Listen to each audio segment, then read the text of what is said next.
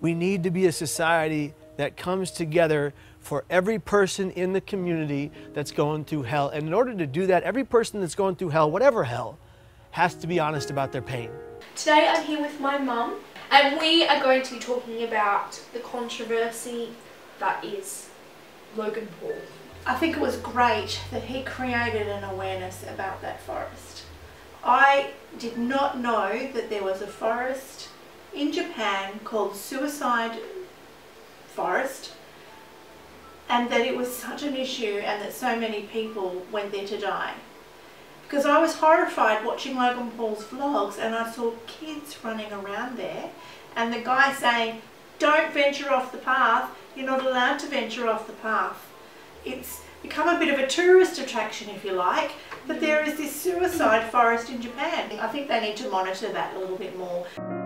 When I found out that one in six high school kids seriously think about suicide, that's, that's stunning. Yeah. This is such a common problem. When I was about 11 or 12, my brother, who is a lot older than me, 15 years older, had some friends that lived opposite him and their son hung himself. He committed suicide. It didn't really impact me. All I can remember is, oh, that kid there, he used to live there, and I was told that he died, that he hung himself. I was 11 or 12 and I went on with my life, like, you know, I got on with my life without it really disturbing me too much. However, I can remember it really impacting my brother, really impacting the family of, of the boy. But even the friendship between my brother and that family separated because of the huge grief that went on with that family. No longer were their children playing in the cul-de-sac. It was quiet. The sister of the boy, she would sit in her room all day. She was devastated, of course, as you would be, and so were the parents. The impact that it had on that family is what I remember more. I think Logan Paul creating an awareness of how extreme suicide is, is a good thing. He needed to use his status to create an awareness on how bad suicide is. And um, I'm really glad that he's doing that and he's going to donate some money towards it. Because I think it is like that. I think it is exactly how that person in that video said. If you haven't seen his, you know, commentary, go and have a look at his latest video. That this man, he, he jumped off that bridge and the minute he jumped he thought, I don't want to do this anymore. I became concerned about the suicide and I went looking on YouTube. And it was then that I learned about the young girl that hung herself on Instagram live last year. It was appalling what that girl had to go through and it was so bad that she eventually hung herself live. And no one, no one came to her aid, they just watched her. For every one person that dies by suicide, there's 287 other people that think seriously about it but don't. Those are stories, again, that have not been told. If we told those stories of people who got through it as opposed to one who didn't, imagine what kind of influence that would have on people's behavior. I'm allergic to perfume, petrol, deodorant, washing powders, um, incenses, name some things, plastics, synthetic clothing, um, and the list goes on, but mainly perfumes and pesticides. Which and is washing something powders. you can't really avoid. It's hard to avoid that, and to be honest, there's been a few times where I've thought life isn't worth living. And it's not just me and mum who have it, my two older sisters have it and obviously it may pass down to my nephews as well.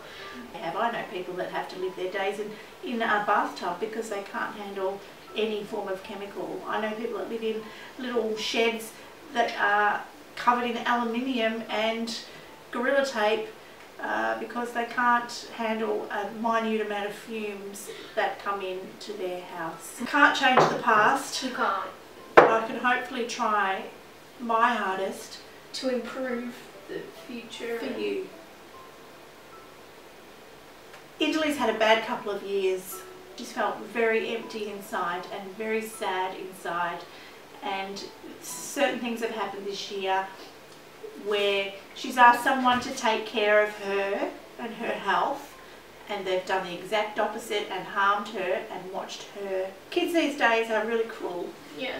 Pretty mean, there's a lot of bullying that goes on Indahly's been bullied at school. Everywhere that Indley has tried to fit in in the last two years, they've had something to say about it. I'm so glad that she has YouTube to fit in.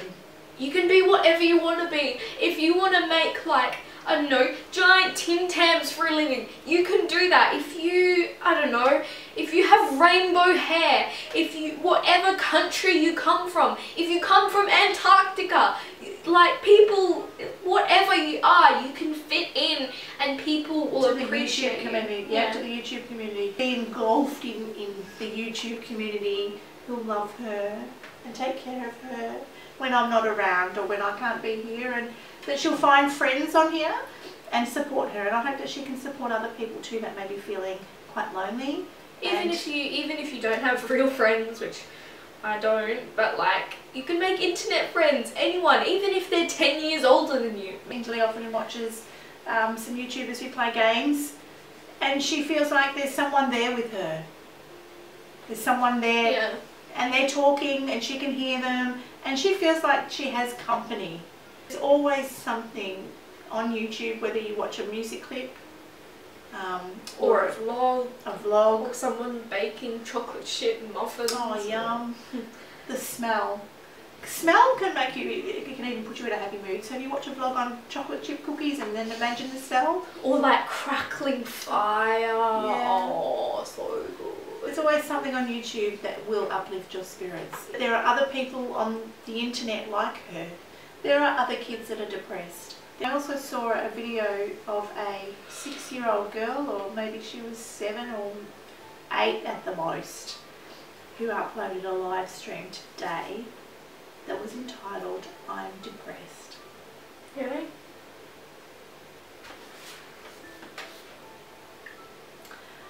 Kids are younger and younger and younger getting Yeah. depressed. I know? mean, yeah, I know that people are like, oh, you have such a great life, you know, you look like such a fun person, but, you know, behind the scenes, life is really hard for me, but, you know, you just gotta keep pushing forward and, We know what it feels like to be depressed, to be lonely, to be in a dark place. I'm pledging to donate $1 million to various suicide prevention organizations, with the first $250,000 going immediately to the National Suicide Prevention Lifeline so they can increase their capacity to help those in need. What has happened as a result from that video and subsequent videos is amazing. it is, it really is. A million dollars towards suicide awareness, That's, and he will keep continuing to do that, creating an awareness for these young kids to stop them going into that dark place. Um, so I hope you guys were benefited by that video. I hope you learned something. You um, something? I learned something. I didn't know the stuff that mum, some of the stuff that mum talked about today. I hope this helps someone. As I said, I'm going to leave in the description box below if you are feeling any of these emotions. Just, you know, there'll be some hotlines and websites and donation links if you want to. If you want to donate some money towards, you know, helping create an awareness of the people that commit suicide here in Australia. or to, to just call someone or read up about it or you know there'll be links in the description box below if you have any helpful websites from Australia then. Well thanks for watching everyone. Um, I'll see you hopefully next time for a normal video. Yeah. Bye!